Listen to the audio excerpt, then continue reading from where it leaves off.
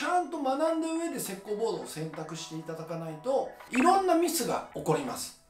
要は石膏ボードの特性とか廃棄の問題捨てる時の問題とかもあるからそれを置き換えてるだけでは問題の解決にはならないから。そこをね皆様には本当に理解いただきたいんですよ。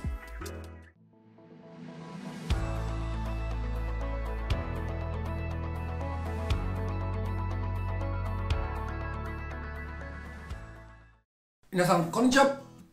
防音アドバイザー私並木です。このチャンネルではプロの知識と情報を発信しています。我々石膏ボードについての動画をねいくつか上げてるんですけど石膏ボードを貼れば防音になるっていう問い合わせが多すぎる。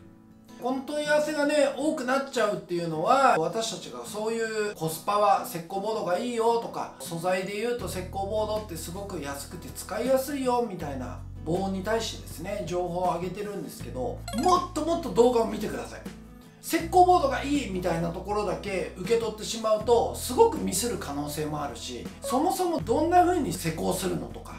そういうところも含めてちゃんと学んだ上で石膏ボードを選択していただかないといろんなミスが起こります。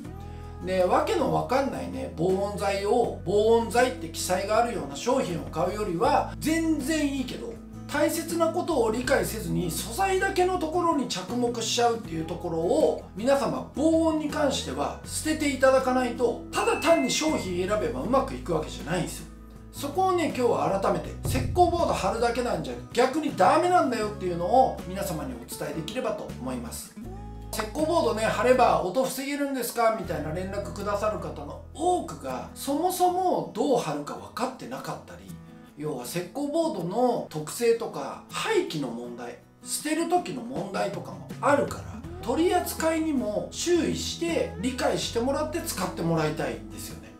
我々が石膏ボードコスパがいいよっていうのは発信してるんですけど大切なのは副構造要は今ある壁の内側にもう一個構造として壁を作るからその時に石膏ボード使うとコスパがいいよ。これは発信してます。であとは太鼓現象を防止するために今ある壁から内側の壁もう一個壁を作る時に中に断熱材充填しましょうねとか柱の立て方はこうやって立てるんですよっていうのを動画でアップしてますがこの2つが最も重要なんですよ。副構造と太鼓現象防止。皆様が悩んでる音の解決をするためにはこの2つが重要でその上に何を貼るかなんですよ。でその何を貼るかっていう時に石膏ボードがコスパがいいのは確か。でも廃棄の問題とか有害物質が発生してしまうっていう問題も石膏ボードにはあるのでそういうのが嫌だったら合板使ってくださいっていうのを私たちの方ではこう一個一個ねお問い合わせいただいた時には返答をさせていただいてます。今見えてる壁に石膏ボード貼ればいいですかみたいな問い合わせをしてくる方に関してはまだまだ勉強が足りないし本当に音の解決になるようなものを得てない状態で防音イコール石膏ボードがいいみたいなところだけ受け取って何とかしようっていう考えをちょっと捨ててもらわないともっと防音についてご理解いただかないと自分たちが求めてる理想の空間っていうのは手に入らないと思ってください。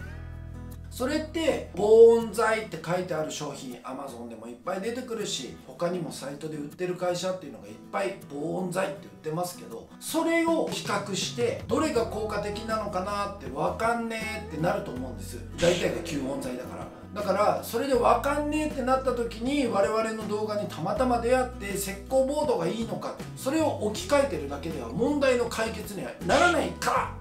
そこをね皆様には本当に理解いただきたいんですよ。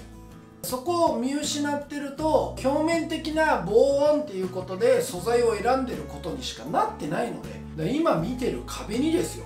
石膏ボード貼ろうってなった時にまずどうやって貼るんですかっていうところから僕らやり取りしてますよ。いや接着で貼ろうと思ってますとかいや接着って僕らでもやんないですからね見えてる壁に石膏ボード接着で貼るって。ねおお分かりますっていう人もいると思いますよ。うちの動画たくさん見ていただいてる方は。断熱材を挟もうと思ってます。これもいる。それも接着でしようと思ってます。いやだって断熱材をですよ。見えてる壁に接着で貼ってでそこに石膏ボード接着で貼ったら断熱材剥離しますからね簡単に。だから石膏ボードを貼るためには副構造で柱を立てなきゃいけない。で効果的に音を防ぐためにはこの壁に柱を接触させないで 15mm ぐらい距離を離して立ててくださいねみたいなものとかも動画で上げてます。でそこに貼る上では石膏ボードがコスパいいよっていうのを伝えてるので要は今見えてる壁に石膏ボード貼ったら音が防げるようになる。そういう商品ではないですから。そこをね知らずに石膏ボード買っちゃうと逆に僕らどう処理していいですかっていう相談に乗らなきゃいけなくなっちゃうのでそこはね是非注意してもらいたいなと思ってます。もちろん石膏ボードの代わりになるもので言うと合板。12.5mm の石膏ボードと 12mm の合板って重さはほぼ一緒ですからちょっと初期投資石膏ボードよりは増えちゃうけどカットもホームセンターでしてもらえるし合板使おうかなっていうところまでご理解いただいている方もいらっしゃいます。だから廃棄の問題とか有害物質が出てしまうっていう石膏ボードの問題が気になる方は是非合板を使ってください。情報をね部分的に切り取って受け取ってこういう風にすればいいんだみたいなところだけ聞いてですね YouTube 早送りでいろんなところを見て部分的なところだけ受け取るっていう防音の情報を得ようとするその姿勢ちょっと変えてってください。本当に必要な情報として発信してるところっていうのは私たちこう8分の動画とか10分の動画の中で例えば5本で全部詰めてくださいって言われても詰め込めないぐらい防音って難しいです。そこをねご理解いただいた上で皆様が自分が出す音はどんな音なのかもしくは外から入ってきてる音はどんな音なのかこのどんな音をどこに対してどれだけ防ぎたいかっていうところからしっかりと逆算してもらって作り方副構造だよっていうところも含め副構造で起きる太鼓現象を防止するためにはこういう素材がいいよっていうところも含めてですねしっかりと防音についてご理解をいただいた上で DIY っていうものに着手してもらいたいなと僕らは強く強く願ってます。でそのために私たちが開示できるようなプロとしての施工方法とかプロとしてはこういうことをやってるんですよっていうものを発信できる範囲で発信はしていってますのでその中でパクれる部分があるなと思ったらパクってください。